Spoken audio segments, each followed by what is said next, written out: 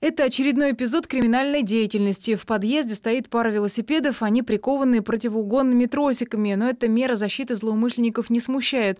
Они легко освобождают чужое имущество и на добыче покидают двор.